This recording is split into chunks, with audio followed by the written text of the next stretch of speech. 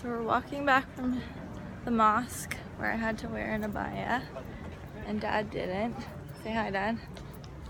So that was fun. That was an experience. It's beautiful.